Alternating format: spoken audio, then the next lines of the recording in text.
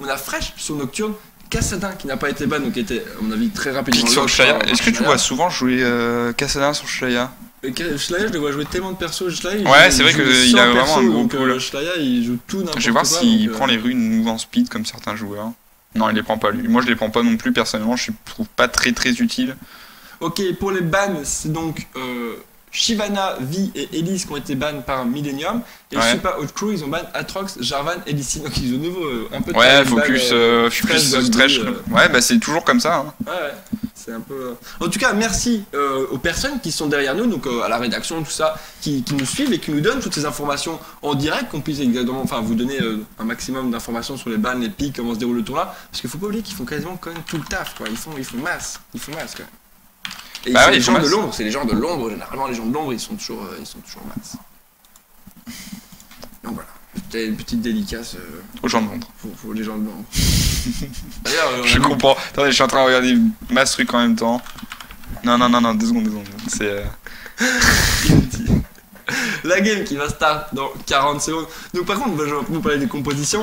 Donc on Ouais. de nouveau ce, ce, bah, ce même euh, match-up, Renekton contre Shen. On sait que Freddy il joue vraiment bien Shen, on va voir si... euh, si euh, on sait que Freddy joue très bien à Necton aussi. Oui, oui. Mais il joue des pics spéciales, Freddy. Euh, moi, quand je le connaissais, il jouait Urgot Top.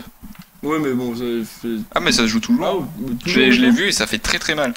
Euh, après, euh, est-ce que c'est vraiment. Est-ce qu'il est vraiment bon au Shen Moi, je le connais pas spécialement en tant que joueur Shen, quoi. Moi j'ai déjà vu jouer quelques fois en compétition Shen. Ouais? Ouais.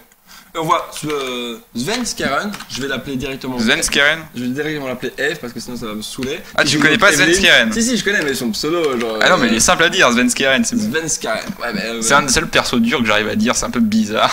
Donc il va jouer Evelyn, on aurait une Oriana mid pick euh, par euh, Super Hot Fire. Comment il s'appelle? C'est qui C'est euh, C'est Moops. Et euh, Caitlyn et Sona pour la bot lane. Donc on a un peu piqué la, la, la, la Caitlyn de, de Nanook.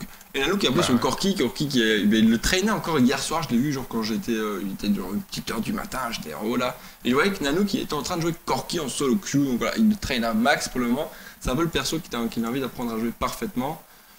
Donc voilà. Les deux compositions, j'aime pas trop Nocturne, Nocturne on le voit plus trop, même si c'est fort, hein, c'est juste moi, c'est un goût de personnage, je suis pas très fan du perso, on va voir si... T'es pas très fan du perso nocturne? Bah, le truc c'est que. euh, Attends, je, je marche. Non. Il y a un truc qui marche pas là. Qu'est-ce qui marche pas T'as Soas aussi Regarde euh, en haut. Non, j'ai un bug euh, graphique. Bah moi je l'ai, normalement c'est collé, hein, je l'ai aussi un peu, hein. c'est pas tip top mais c'est un peu bugué quand même. Normalement, il est Bon, pas j'ai un bug graphique. euh, De toute façon on voit pas ton écran donc... euh. Et donc voilà, on fera. Nice, cool. C'est bon, j'ai un Et donc voilà, les deux équipes là qui dirigent vers le mid, on va quand même se concentrer un peu sur la game au niveau des stats, rien de bien particulier. Euh, on a revu des, voit des pinks maintenant sur Joe, il a pris des pinks, cette fois-ci maintenant c'est une Evelyn donc t'es un peu obligé. Là sa ward qu'il a posé pour, pour cover s'est fait instant départ vu que ben, les euh, super hot crew étaient déjà dans le, dans le bush. On voit que pendant ce temps-là, ils vont, ben, on sait qu'ils sont vers le raid qui vont prendre l'information, donc Milliam va faire de même. Du côté super hot crew, ils vont aller euh, warder leur raid, etc. Ouais, bah là, ça, ça joue plutôt offensif des deux côtés. Il y a quand même une pique d'utiliser. Ah, bah tiens, la ping de Dude. Celle que on voyait. Ah, il en a pris deux cette fois-ci. Ah oui, il a, cette fois-ci, il nous- il nous a dit non, mais en fait, euh, je- maintenant j'ai envie de prendre des piques. Euh, c'est Evelyn quand même. Go. pas Ouais, c'est vrai que Ah oui, c'est vrai que c'est Evelyn. C'est vrai que c'est Evelyn. Si tu pars sans ping, c'est que t'es quand même un gros tard. Donc, il ward ici. Une pink. Moi, je suis pas d'accord, j'aurais posé une ward verte. J'aurais pas posé une ward verte là, j'aurais posé dans le, dans, dans le bush euh, red, parce que c'est le bastion invisible, c'est vrai que t'as pas d'informations. Ouais, mais euh, là, t'as sur l'ivresse. Et sur l'ivresse, Evelyn est lourd en général. Ouais. C'est pour ça qu'une ward verte, je, je l'expliquais dans mon stream tout à l'heure quand je jouais Evelyn. Une ward verte euh, dans cet endroit-là en early contre Evelyn, c'est très très très fort parce que euh, on peut la voir parce qu'elle tape les creeps et euh, ça fait qu'une ward verte du coup. Et en plus, elle est très souvent très très low dans sa jungle donc deux points forts quoi. Donc après Pink Ward pour l'avoir passé par là probablement. Hein, mais, euh, Millennium qui refait un swap lane, hein, donc Dogby qui est Ouais. reparti bot lane, peut-être qu'il avait pas vu la game d'avant, peut-être qu'il avait juste décidé de swap également. Ouais, je pense. Je sais pas. Je Mais- pense vraiment qu'ils ont décidé de swap en même temps et puis ça s'est fait comme ça. Mais Ok, donc finalement on aura un Dogby contre une Caitlyn Sona, c'est un peu bizarre de vouloir swap parce que bah, Sona c'est quand même dur en 2v1. Ouais, ouais, bah euh, Thresh, Corki, c'est très dur aussi. Je t'interromps juste une seconde pour dire quand même que là, on a, euh, on a finalement un style de buff euh, raid de la part de Fresh, enfin de la part de la beauté de Fresh. Ouais. Donc là, c'est pas mal. Ils enlèvent un buff à Levin, finalement, cette pink war qui n'a plus vraiment d'intérêt du coup, bah, n'y a plus rien à aller vraiment contest. Bon, ça, peut, ça, ça- ça sert toujours pour les vrais. Ouais, t'as la vision aussi de où elle se trouve sur la map, donc c'est plutôt intéressant. Mais, euh, et donc Evelyn, qui a un peu senti ce truc-là, qui se dirige vers, directement vers le raid de Fresh. En plus, il y a quand même pas mal de vision, donc elle sera plus ou moins au courant euh, si ça va innover ou pas. Bah, elle l'a senti, puis en plus, elle voit qu'à 2 minutes 30, euh, Nocturne n'est toujours pas passé par euh, le petit bush qu'on voit qui est wardé. Donc, euh, elle sait qu'il s'est passé un truc dans son, dans son rouge, donc autant prendre le leur directement. Et puis, au pire des cas, si Nocturne arrive par le bush, elle le voit passer, donc elle fuit. Donc voilà, le red buff qui a été contest des deux côtés. Donc bah, ça fait un peu la même, sauf qu'il était clean du côté Millennium, donc ils ont le timer, mais Kevin ne l'a pas clean, donc elle aura pas le timer. Enfin, Ouais. il y a sa ward, donc elle finira par l'avoir si Nocturne le, le clean euh, avant que la ward fail. C'est pas mal parce qu'ils ont le timer et en plus, le bleu et le rouge respawnent en même temps. Ouais, Donc, euh, du coup, il y, a un- y a forcément un des deux buffs qui sera contesté. C'est ça. Ça, c'est la force du, du, du laissage, de, enfin, du pas laissage de creep. Ouais, et puis il y a le fort du laissage de creep aussi euh, qui fait bien chier. Oui, oui, c'est Et en sûr. plus, Nocturne l'a même pas nettoyé. Non, mais il a essayé de pas passer par les wards, il s'est malheureusement fait voir vu qu'il est ping. Lobby, il a qui est un peu en difficulté, mais quand même plus de CS que le Shen, donc vraiment ça se passe bien. Au niveau de la mid lane, c'est plus ou moins even, la bot lane c'est even, pas grand chose à dire. On a Fresh qui vient aider un peu Dogby, hein, qui est sous pression mid, à récupérer quelques creeps pour pouvoir être un peu plus à l'aise, pas trop se faire poke sur cette tour. Evin qui se dirige également vers la top lane pour aider son Shen. Le grab qui passe sur Shen, il va se prendre énormément de poke, voilà, il s'est pris un petit bon mid-life là-dessus. Ah, pourtant, Freddy est mieux au niveau HP que, que Renekton Ouais, mais. Freddy il a plus de potes. Il a plus de potes, ses Dogby en a une. Ouais, il vient de passer une 3, ouais, il est pas si mal que ça quand même. Et puis ça poke quand même pas mal euh, cette petite zone, hein. c'est assez énervant. hein. Bah, c'est assez énervant, mais bon, euh, c'est pas ça qui va faire chier. La tentative de go in attention, sur Caitlyn, elle a le fief qui va passer, elle a plus de flash, elle prend énormément de dégâts, l'Ignite qui est passée, elle est très très morte, HP, le premier kill qui va être pris par l'équipe Millennium Fresh qui récupère ses first blood, c'est vraiment bien joué de leur part. Oh là. Mais ils foutent, ils savent exactement quand y aller, ils savent euh, quand enchaîner les CC. Euh, Fresh, qui- enfin, Fresh qui court beaucoup trop vite, est-ce qu'il a pris des runes. Enfin, il était dans l'ombre, hein, mais est-ce qu'il a pris des runes Mousfine Dans 345, c'est quand même très fort Nocturne en early. Les gants qu'on dit, ils sont pas terribles et tout, mais si vous arrivez à choper quelqu'un, à fier quelqu'un, c'est automatiquement la mort. Donc très très bien joué de la part des Millennium.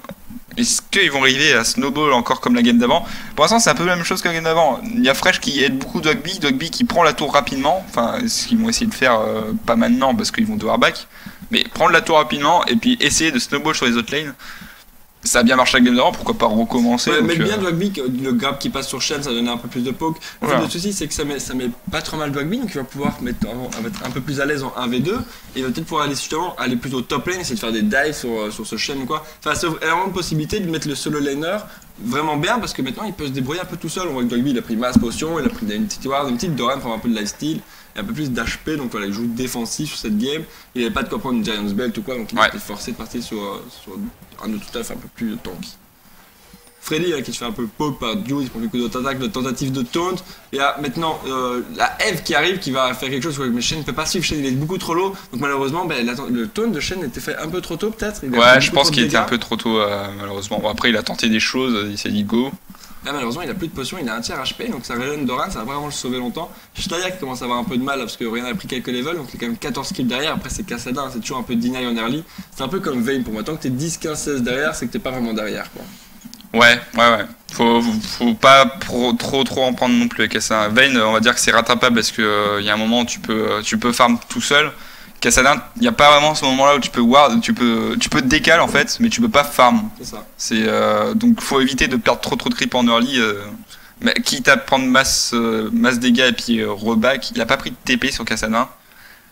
Ah, Moi, je suis quand même plus fan de la TP sur Ouais, ça dépend. Moi, moi généralement, je, je joue n'importe comment, je perds. Donc, Avec voilà. Cassadin, tu perds.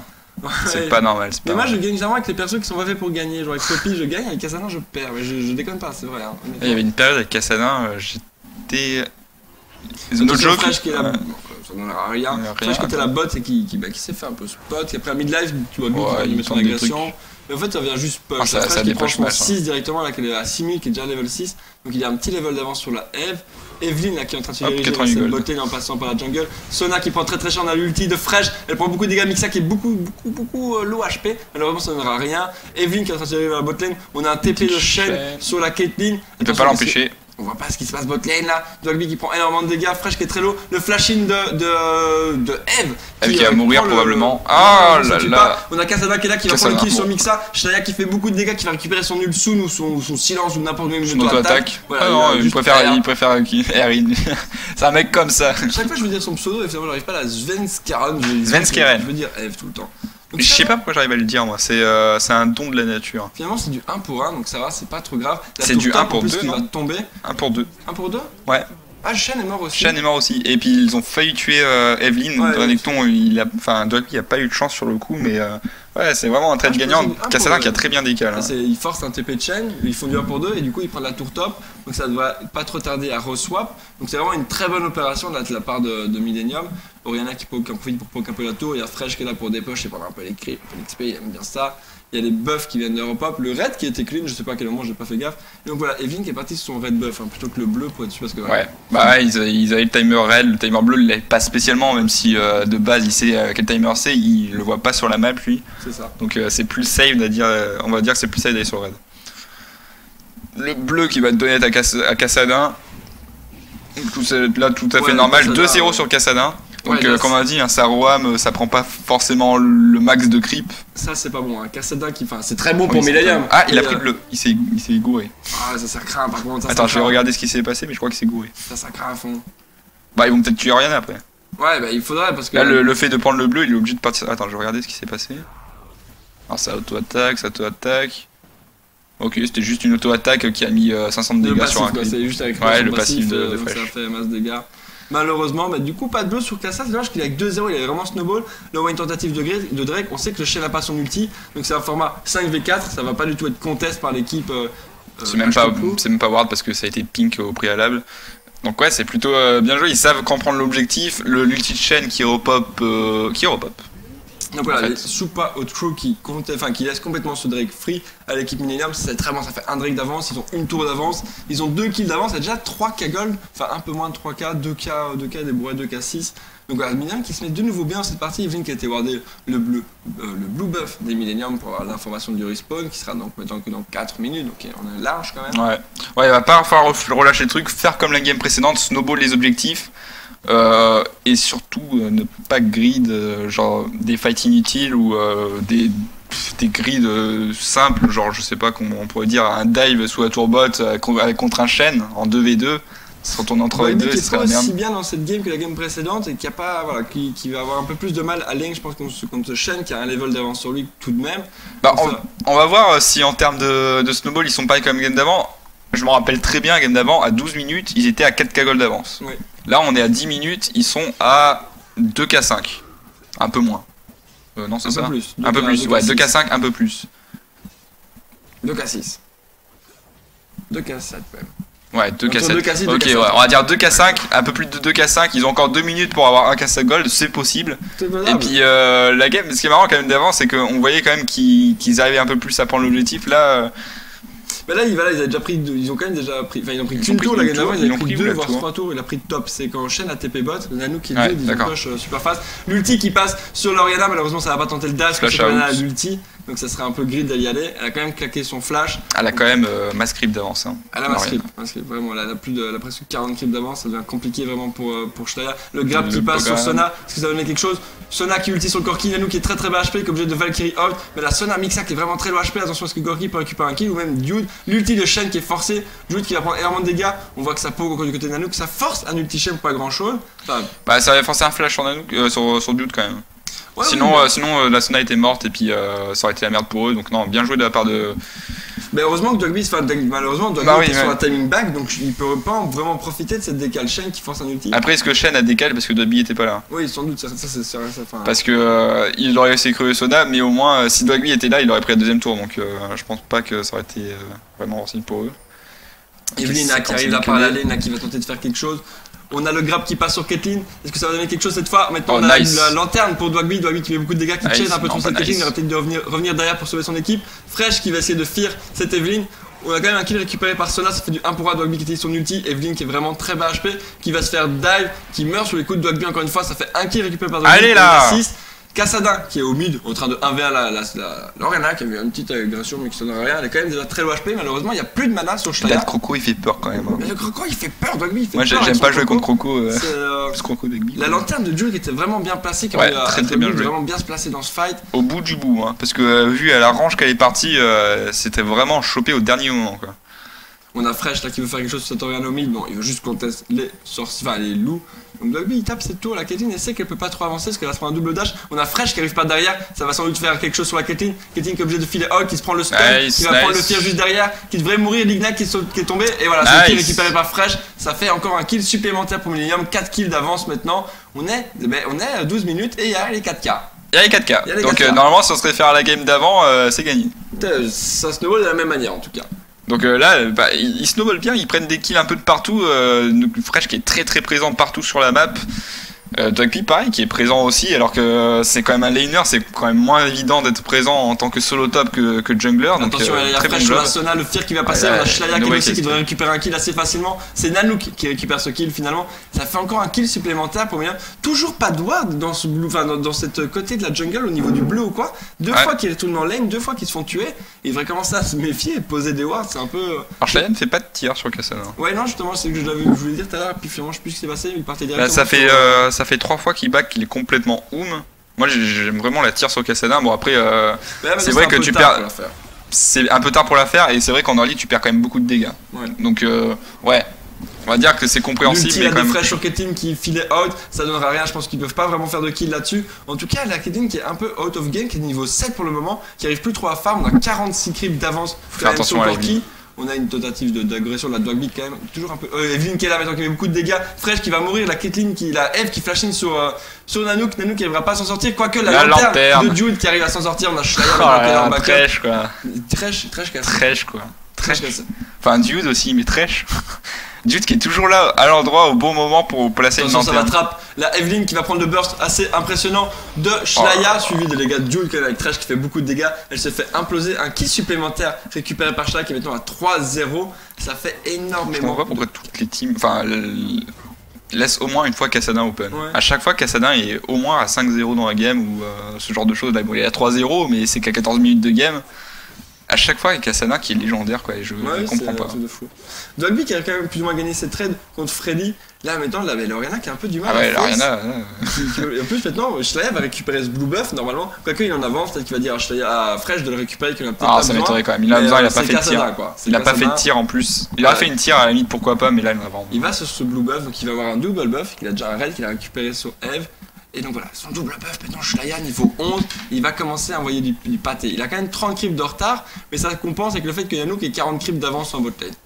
On est à la moitié des 10k d'avance. Donc, euh, la moitié du comeback pas possible. La moitié du combat qu'on possible. Donc, euh, du coup, je pense que c'est un comeback pas possible la moitié, donc c'est worth it. Ouais, mais là ils sont vraiment bien là.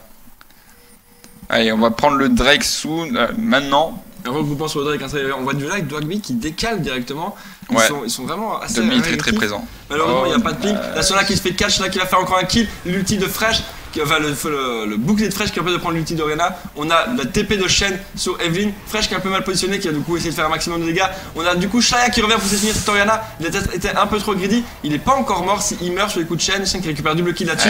Mais par contre, derrière, ça va faire un quasi ace pour Ils l'équipe un, ils, un- bah, ils font un fight monstrueux, les miniums là. Là, ça dive à fond, bien qui tank, obligé de flash out, parce qu'il a vu la fact. arriver. Malheureusement, Freddy qui tank à fond, qui veut pas mourir, qui meurt, le double, va double buff récupéré par Nanook, Kétine qui arrive que seulement maintenant, qui a plus de mana, donc elle peut pas faire grand chose.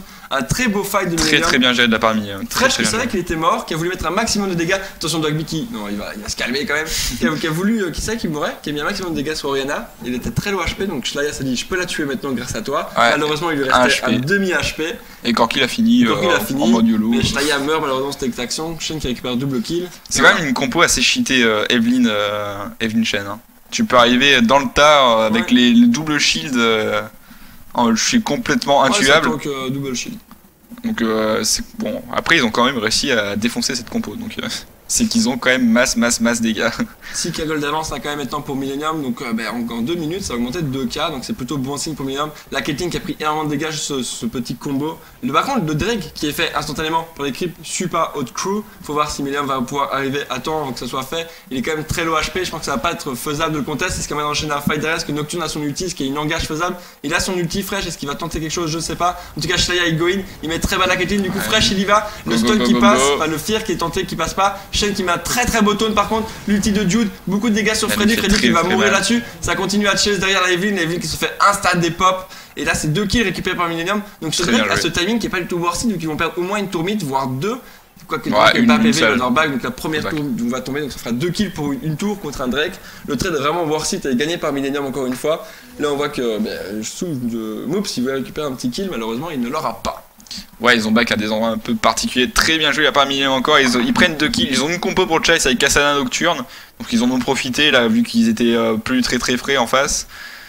Du coup, euh, ils ont pas pris de mid, c'est la seule chose dommage de ce qui s'est passé euh, actuellement, Ouais. mais. Ils hésitent, on voit qu'ils hésitent plus sur la prise d'objectif quand même que la game d'avant. Bah, il y avait beaucoup de creep top lane, donc Dogby était obligé d'y aller. Oui, Dogby du était back, obligé. s'il était low HP quand même, fallait pas trop, pas trop faire le fou. Et donc après, ils étaient que 3, ils se sont dit, on va jouer, c'est qu'ils étaient encore 3 en vie en face quand même, donc fallait Ouais. peut-être pas trop tenter le coup, 3v3 au mid, ça reste quand même dangereux. Alors quand même 14-4, un 6K d'avance alors qu'il y a un dragon qui vient d'être pris. Ouais, il y a toujours le, les 6 d'avance, Ouais. donc il y a le Drake en avantage. Mais voilà, ils jouent la sécurité, tant mieux, ils sont en avance, pourquoi essayer, de risquer pour Ouais, c'est tour mid, on est bien, on continue. Ça joue un peu genre euh, aîné comme ça, tu vois, on a un avantage, mais on n'a pas envie de snowball trop fort dessus, on va Ouais. snowball à notre, à notre aise. Et euh, quoi qu'il arrive, on a la game en main, donc si on fait pas d'erreur, on la gagne. Pourquoi est-ce qu'on irait faire n'importe quoi? Donc là, on a un regroupement minimum un peu mid. Les 5 joueurs qui ont l'air de se diriger vers la mid lane, est-ce qu'ils vont essayer justement de prendre cette tour? Pourquoi pas? C'est assez fa- facilement faisable. Evelyn qui continue à, récupérer son, son raid, pas de raid sur le carry AD de nouveau en face. Apparemment, ils ont, pour le moment, c'est plus trop la mode de, de- le raid de carry AD.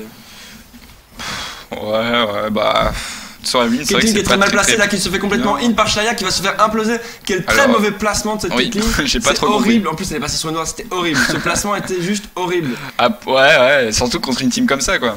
Il s'est fait dashing par tout le monde quoi. C'était n'importe c'était voilà ça je crois que donc ça commence un peu à baisser les bras. Shane a même pas ulti, il s'est fait one shot, c'était impossible. Ils sont du coup 5v3 mid. Il y a moyen de poke un maximum là quand même. Il y a moyen de dive, Il y a carrément. moyen de dive, il y a moyen de faire énormément de dégâts. D'ailleurs, ça va y aller. hein. L'ulti de Fresh directement sur Oriana. Sona qui essaie d'ulti pour Oh, temporiser. Mais. Oriana s'est fait one shot. Le grab qui passe sur Sona. Sona qui se fait imploser, qui flash up, mais qui meurt quoi qu'il arrive. Le Shen qui essaie même pas d'ulti. Le Shen continue à split push. Il a complètement. Il a complètement. Je je crois qu'il abandonne ses Ah, mais a euh, ça. super chaud, Minium, super chaud. Nanook légendaire. Nanook légendaire. Nanook légendaire. Bon, attendez, le Nanook Cassadin, on entend légendaire. Schlaya, euh, c'est Nanook. Nanook qui normalement joue le farm et là qui a joué très agressif dans cette partie. On a vu que Fresh, attention, il y a quand même le go-in de Evelyn Dude qui est un peu mal placé mais qui met un très bel ulti, un très beau E. La Evelyn qui se fait, Il fait quelques dégâts, faut faire gaffe.